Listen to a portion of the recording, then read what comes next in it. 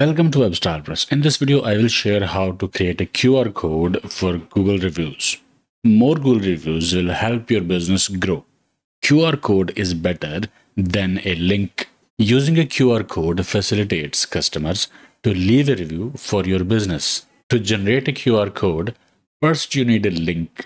Search for your business on Google or on Google Maps. Click on Read Reviews. Click on Get More Reviews button. Copy this review link and then simply go to any free QR code generator.